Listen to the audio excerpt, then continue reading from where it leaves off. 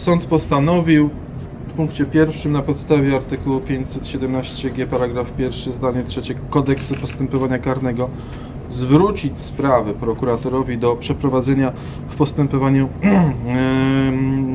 przeprowadzenia postępowania przygotowawczego na zasadach ogólnych z uwagi na niemożność zachowania łącznego czasu przerwy określonych itd. O co chodzi, Szanowni Państwo? Chodzi o to, że sąd doszedł do wniosku, że wobec y, dowodów, jakie są do przeprowadzenia w sprawie, zarówno tych, które zgłosiła policja, czyli zeznań łącznie sześciu świadków, a także tych y, wniosków dowodowych, które zgłosiła obrona, a dotyczą one zarówno też świadków, czyli przesłuchania świadków, jak i oględzin z wielu nagrań, które bezpośrednio relacjonują całe zdarzenia. E, Sąd doszedł do wniosku na podstawie tych y, wniosków dowodowych właśnie, że w trybie przyspieszonym sprawy rozpoznać się nie da.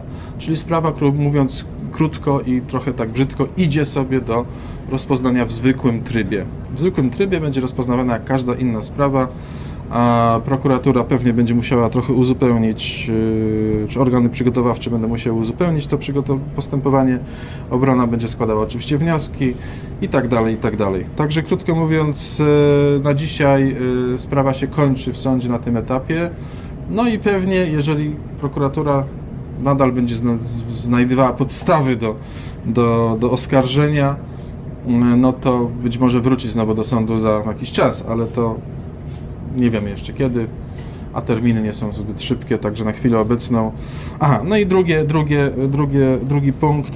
E, Sąd postanowił nie orzekać środka zapobiegawczego wobec oskarżonego Pawła Tanajno, czyli krótko mówiąc sąd zwolnił, zwolnił y, zatrzymanego.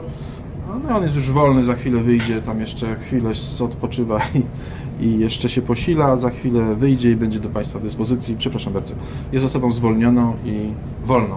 Jeszcze pytanie, y, jeszcze pytanie. m, Mieliśmy informację, że sąd zarządził pół godziny przerwy i po tej pół godzinie y, miała być informacja dla mediów, czy zostaną wpuszczone, czy nie. Nie było żadnej takiej informacji. Czy, czy było jakieś uzasadnienie tego? Znaczy sąd zostawił ten wniosek mediów o bez rozpoznania, dlatego że on już jest bezprzedmiotowy, bo nic się więcej nie będzie działo, więc nie ma czego rozpatrywać, tak? Nie ma kogo wpuszczać na salę, bo nic się już teraz na sali nie dzieje. To jest standardowa tak, Dziękuję bardzo. procedura. I... Mają Państwo jakieś pytania? Jeśli nie, to dziękuję. Dziękujemy bardzo. Dziękujemy bardzo. To było e, oświadczenie pełnomocnika Jacka Wilka.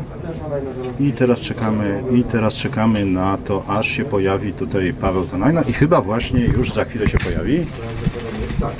Jest. Proszę Państwa, króciutko. Odczytam najpierw listę hańby, e, e, hańby munduru policjanta. Janusz Stankiewicz, syn Jana, Gdańsk. Damian Hinz, e, syn Marka z Gdańska. Norbert Oleszak, syn Ryszarda. Piotr Stegna, syn Jerzego. Tych czterech policjantów złożyło e, fałszywe oskarżenia na temat tego, że zostali szarpani i popychani przeze mnie. E, Ja jako samotny spacerowicz po święt, e, ulicy Świę- Świętokrzyskiej i e, na placu przy pomniku Kopernika zostałem otoczony przez 300 policjantów i e, którzy źle zidentyfikowali e, stan faktyczny. Myśleli, że dziennikarze, którymi otaczali, są częścią zgromadzenia. E, Policja ratując się przed blamarzem, przed ośmieszeniem się, że wystawili przeciwko jednemu człowiekowi e, 300 policjantów, wymyśliła sobie i zmusiła prawdopodobnie osoby, e, które wyczytałem, do złożenia fałszywych oskarżeń. E, Należy pamiętać, że e, szef e, Ministerstwa Spraw Wewnętrznych był skazany już raz za nadużywanie swoich obowiązków, uratowany przez Andrzeja Dudę. W ten sposób e, pisowski reżim ratuje i chroni przestępców, a ci przestępcy teraz zmuszają policjantów do hańbienia munduru policjanta w Polsce i zamieniają policję w policję polityczną. To się musi skończyć. Otrzymałem wiele ciepłych słów od policjantów, bo tylko z nimi miałem ostatnio kontakt i wszyscy są w szoku, że policja została wmanewrowana w pisowski reżim.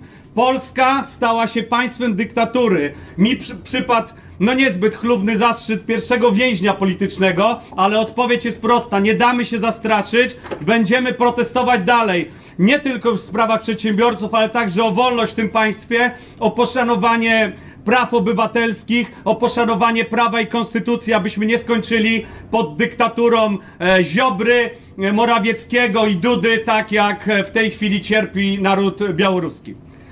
To wszystko, dziękuję Państwu.